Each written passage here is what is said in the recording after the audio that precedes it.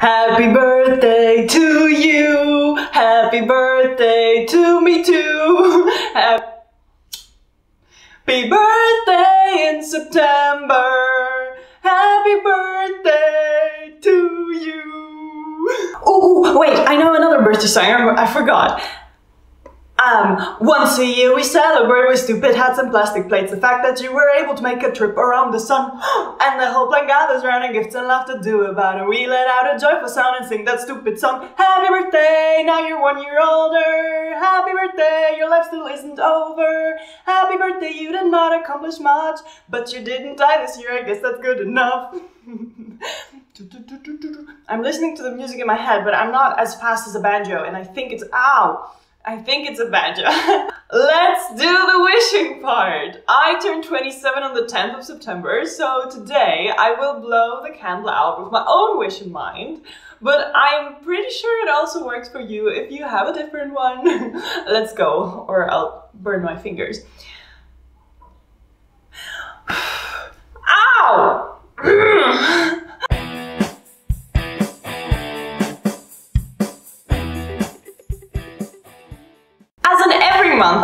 Talking about what science says about September borns. If you are not a September born, then I'm sorry, nobody's perfect, but, but you can still check out your birth month video in this playlist. And oh boy, am I happy to have arrived at the September video. Yes, because my birthday is in September, but also because I'm at last through with all of them. I kept feeling bad that some people would not be able to check their birthday out, but now, no matter in which month you were born, you can find your video. Well, let's be honest, no one heard if they couldn't find their month, and I mean, I am certainly by far not well known enough for people to be anxiously awaiting my videos, but hey, this one person who did my little sister who is born on September 12th. Wish her a happy birthday, please.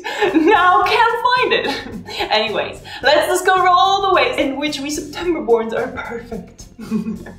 Number one, we are tall. I personally took that too seriously, if you ask me, and I'm probably dragging the stats here, but hey, I can't change anything about how tall I am, right? So the vitamin D exposure in the last pregnancy months are super important for the fetus's growth, and the bigger it comes out, the bigger it can get. The difference in the study done in Bristol was mere 5 millimeters, but significant for late summer and early fall babies. At the age of 10, the children of another study were half a centimeter taller in average than the children born in winter months. The same study found that number two, babies who are born in late summer and early fall also have bigger and stronger bone. They found that a baby had already an average of 12.75 square centimeters more bone mass than an average baby in other seasons. Now, this is obviously not something you would think is good or bad, but it is indeed good because stronger and heavier bones are less prone to breaking and they also are less likely to break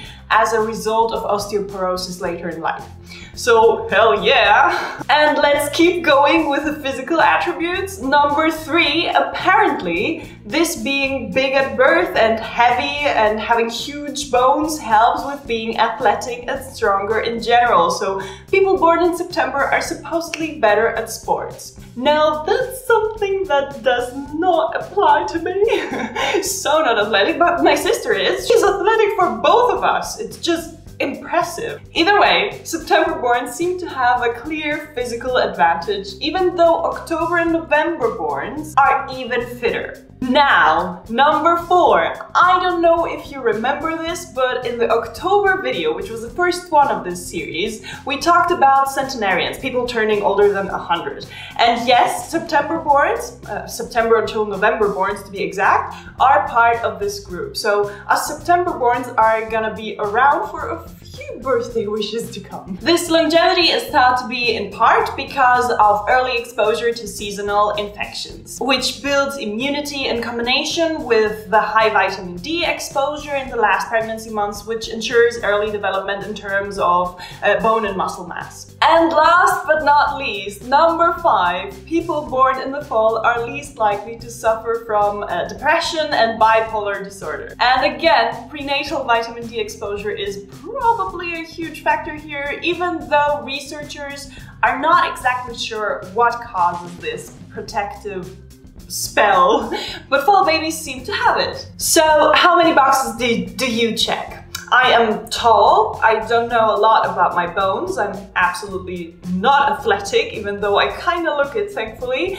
I don't know yet how old I'm gonna get to be, and until now, I'm not depressed or bipolar, so yeah. Holy guacamole. We're through with 12 videos of 12 birth months. This is crazy. And in one month, I'm gonna have had this channel for a year. This is huge. I hope you liked this video and any other video on my channel. If you did, please let me know and also please come forward with any ideas of what to do for my channel's birthday video. Like, what topic should I do on that day? Ah!